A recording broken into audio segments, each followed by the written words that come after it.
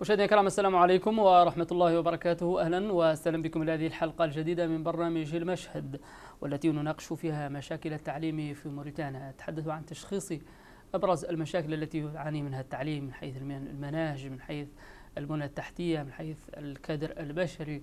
نتحدث كذلك عن الإصلاحات التي نفذت خلال العقود الماضية. آه، ما هو المدخل لإصلاح التعليم في موريتانيا؟ ونعرج أيضا على العناوين الرئيسية في ما تقول الحكومة إنه عملية إصلاحية تنفذها خلال المرحلة الحالية المدرسة الجمهورية قانون التوجيه للتعليم وغيره من العناوين المرتبطة بهذا الإصلاح.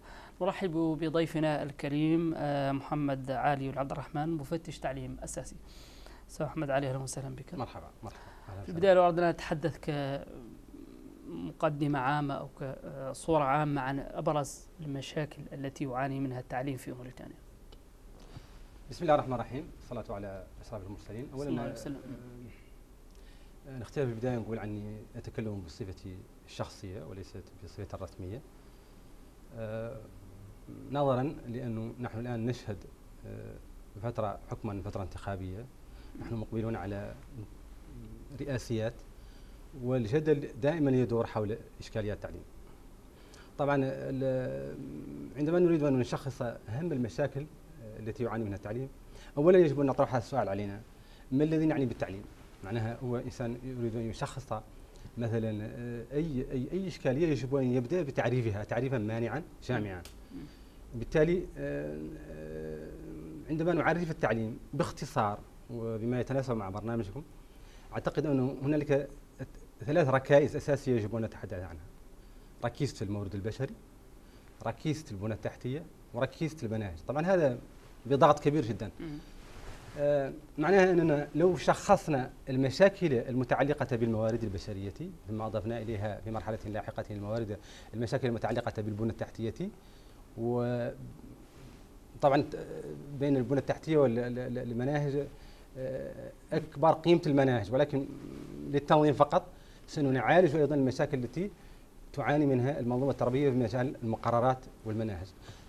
قبل ذلك أود أن أشير إلى أن من بين الأخطاء التي دائما نرتكبها أو لا ننتبه لها أن إصلاح التعليم ليس قرارا سياسيا. عجيب. ليس قرارا سياسيا. وما قرار من؟ قرار فني.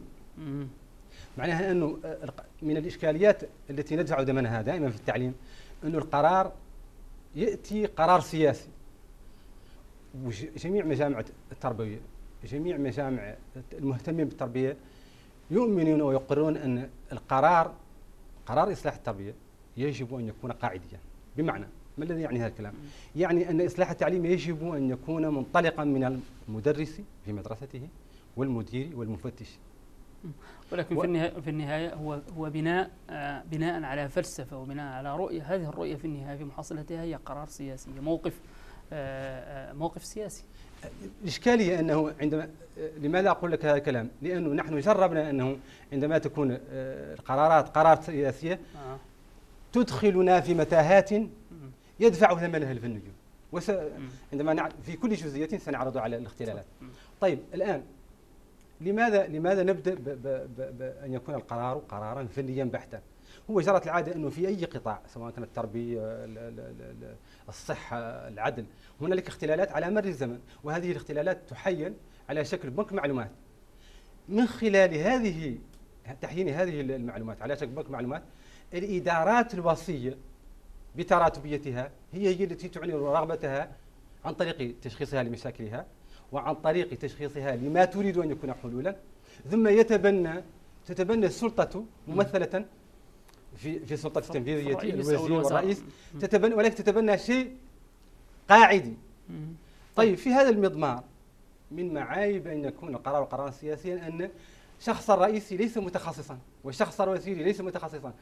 وكم دفعنا آه، أثمانا أن يتبنى الرئيس مثلا قرارا آه، عاطفيا مثلا آه، مثلا هو وهذا سنتعرض له لأنه حتى قضية آه، زي المدرسي كم مثلا وسيلة من حبر في قضية زي المدرسي طيب ما هو ترتيب زي المدرسي في أولويات التعليم؟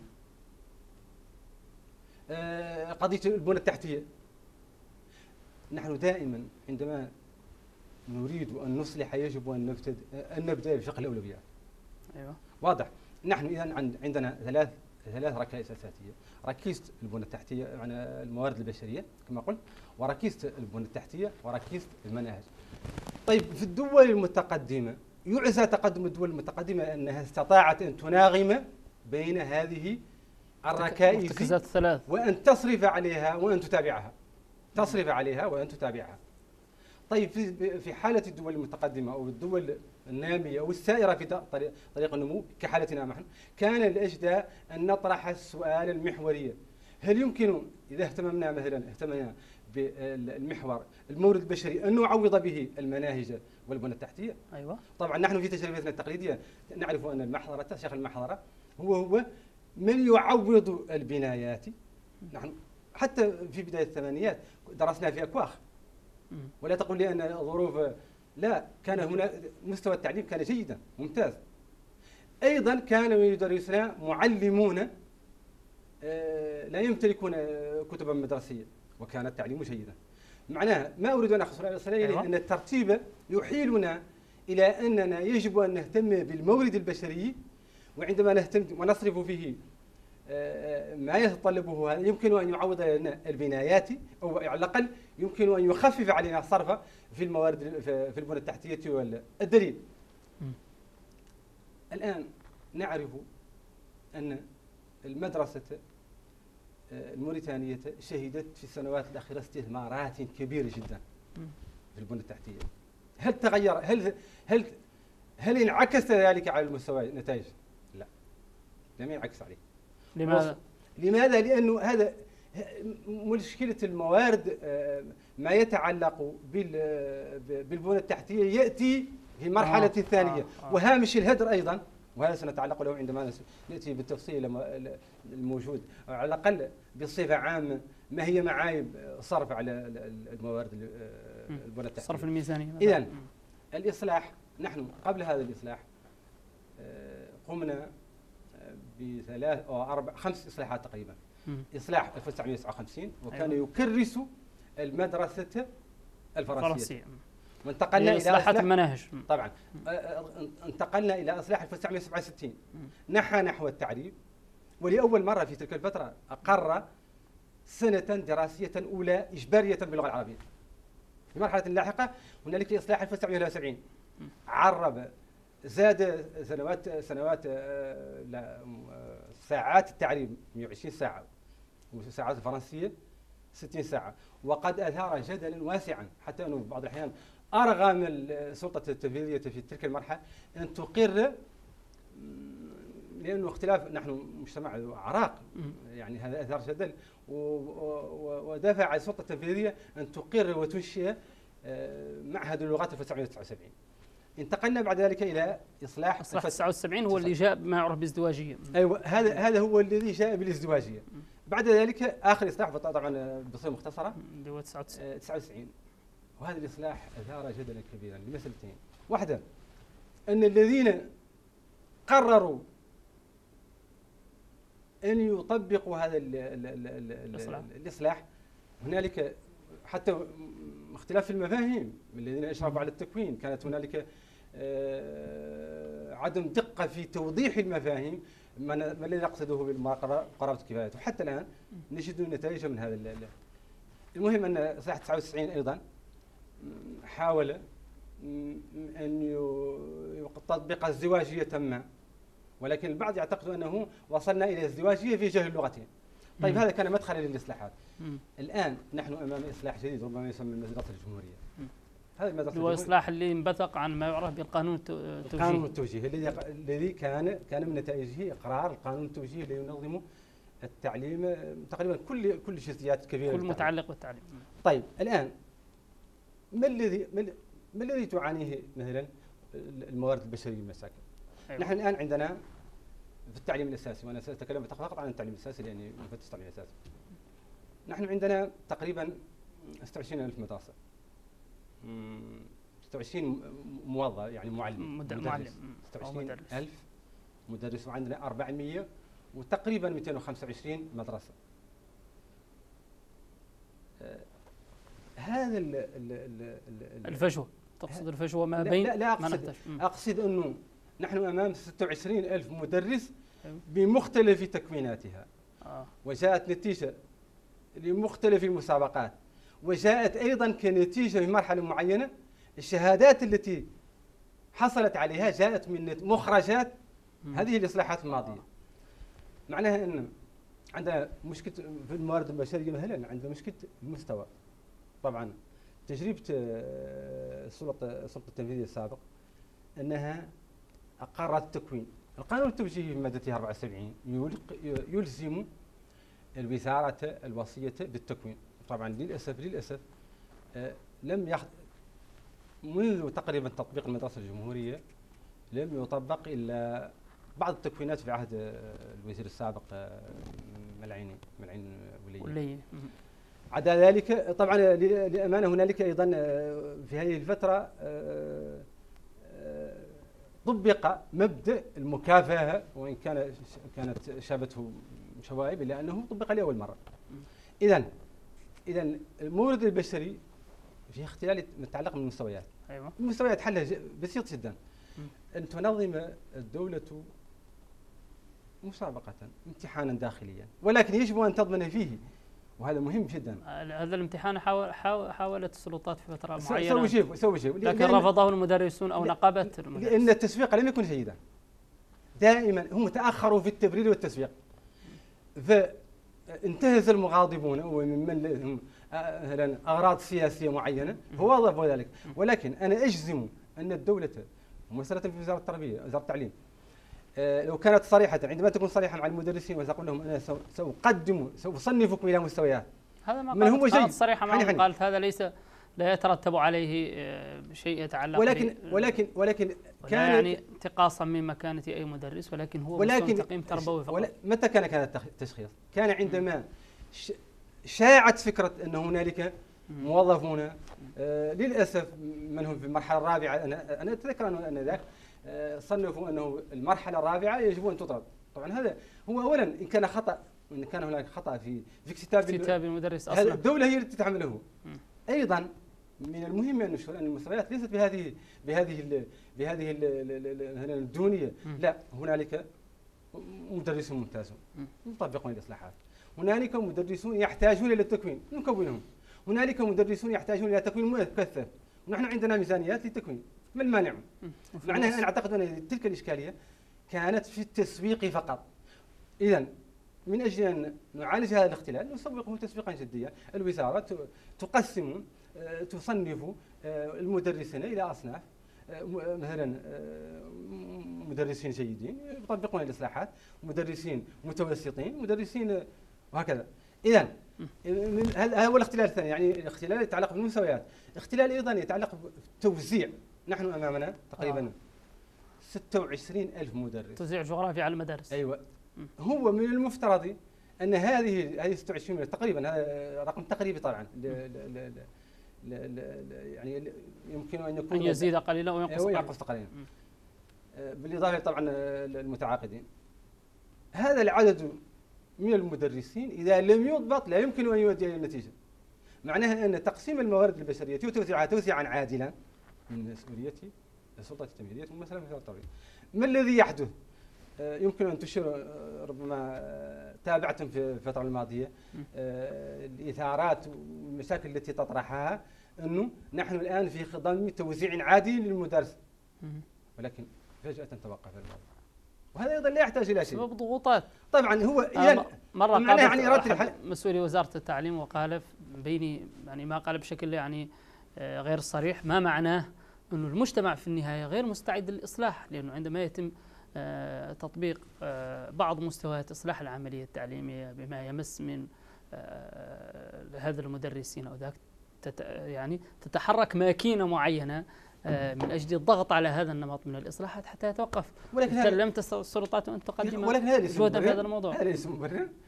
هو لكن هذا واقعا أيضا أو. واقع أيضا لا يا هو هو الإصلاح ي- يريد أن يغير الواقع هو الأصل الإصلاح لماذا نريد أن نصلح؟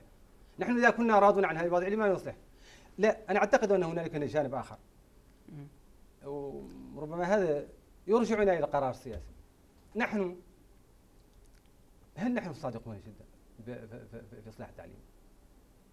إذا كانت إذا كانت إذا كانت الإ- الإدارة في مختلف مساراتها هي التي تمنع التوزيع العادل كما أشرتم نواب وزراء كذا كذا كذا كذا. القائمة. تدخلات تدخلات.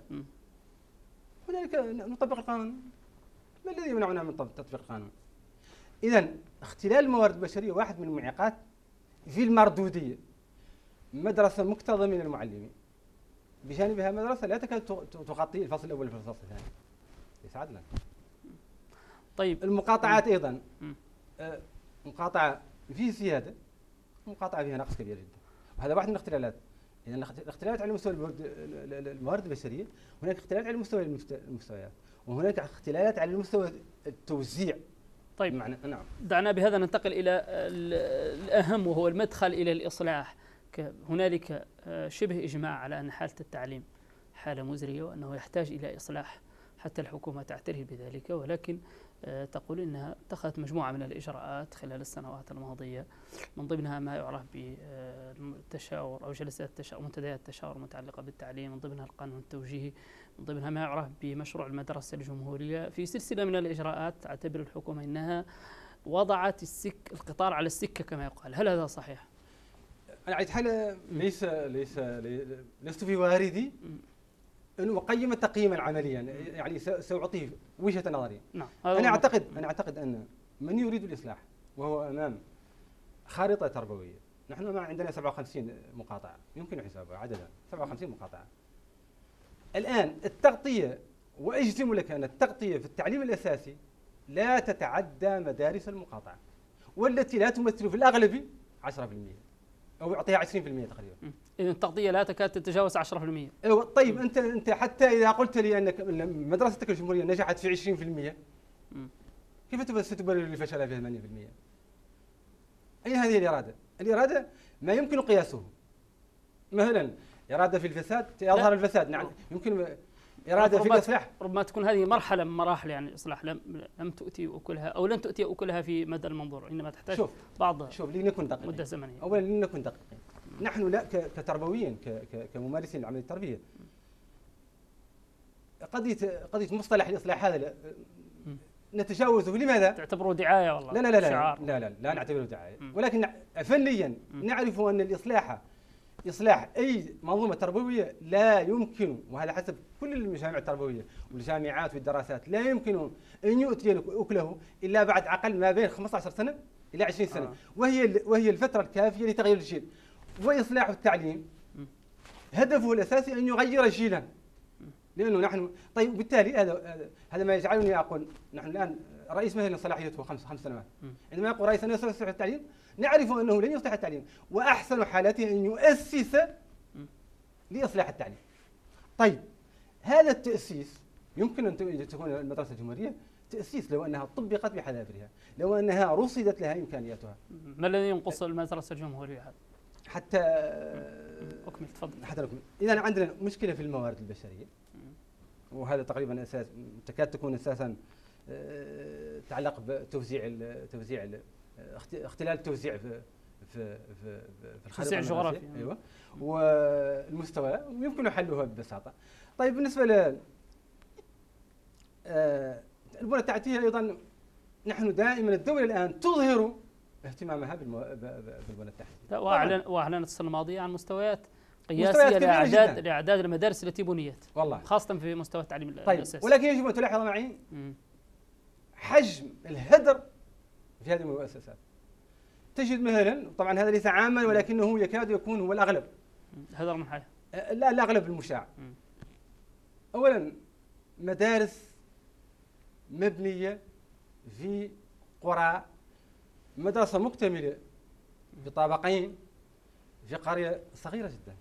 وبجانبها مدرسة أخرى وبجانبها مدرسة. معناها إذا رأي آه، غياب العدالة في آه، أيوة. توزيع الخريطة المدرسية قياسا على عدد السكان على- وعدد على الاحتياجات على الاحتياجات التربوية على أساس التقارير هو المشكلة عنه ال- الإدارة مكتوبة وأن الإدارة تأتي افقيا وليس تقوليا هذه المفتشات وظيفتها أن تكتب أن أن ترسل أن تعلم أن توصل الحقائق.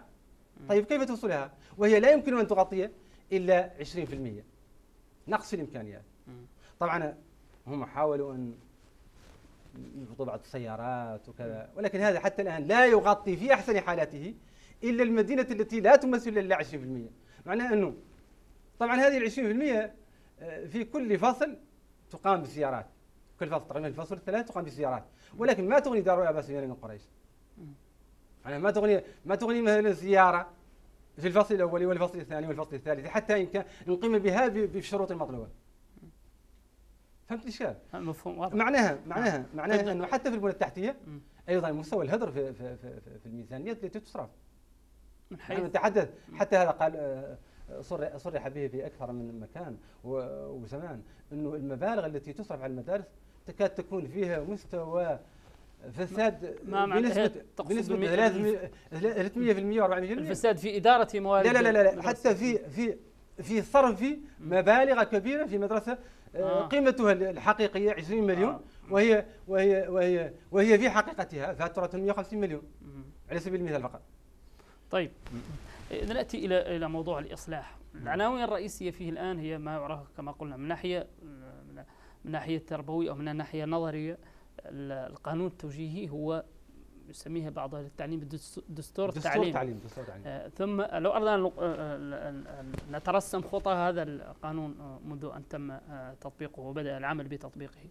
طبعا انتج عنه ما يعرف الآن بالمدرسة الجمهورية تقريبا لها سنتين إلى بل ثلاثة. بعض العناوين الأخرى مرتبطة بالزي المدرسي الكتاب المدرسي التركيز على السنة الأولى والثانية ابتدائية كمدخل كمدخل وسحب أيضا من التعليم الحر كمستوى معين وضع اليد على المرحلة الأساسية على الأقل من التعليم. برأيك هل هذا هل هذا المشروع أو هذه هذا هذه العناوين تسير في طريق في طريقها السليم؟ نحن بالفعل نسير بشكل سليم إلى مدرسة جمهورية بالفعل وإلى وضع اليد على إذا أنا اعتقد يجب أن أطرح سؤالي. إلى تأسيس مدرسة جمهورية. أيوه أيوه خلاص. لا مشاحة في الاصطلاح. شكرا. آه. شوف بالنسبة ل أنا أعتقد أنه ما دمنا لا نطبق فقه الأولويات لا يمكن. نحن دائما المسؤول الموريتاني والإدارة الموريتانية تتذرع بالميزانيات بالإمكانيات المادية الامكانيات اللوجستية الامكانيات الموارد البشرية. فقه الأولويات يفرضنا على أن نتعامل مع أول نعطي الأولوية للمورد البشري. القانون التوجيهي آه، لا يمكن أن نقول أنه أهمل المورد البشري أشار فقط إلى ضرورة التكوين. لم تطبق ضروره التكوين لم تطبق اشار كما قلت لك 74 في الزاميه التكوين ولم تطبق آه، اشار إلى انشاء كم من المرافق وحتى الآن بعد خمس سنوات من تطبيق المدرسة الجمهورية نكاد تكون نخطو في الخطوات الأولية بعد خمس سنوات من التطبيق. معناها أنه أنا أعتقد أنه بتجاوزه لإعطائه الاهميه للمورد البشري. وراهو للامانه تزميل المو... في آه مهنة تثمين مهنة مشروع تثمين مشروع, تثمين جيد ولكنه لم يطبق بحذافيره. طيب للأسف انتهى وقتي. آه لا إذا كانت لك كلمة أخيرة في هذا الموضوع. أنا أعتقد أنه آن الأوان آه أن تعي كل مكونات هذا الشعب. كل مكونات السلطة التنفيذية آه أن تعي أن إصلاح التعليم إصلاح قابل للتطبيق.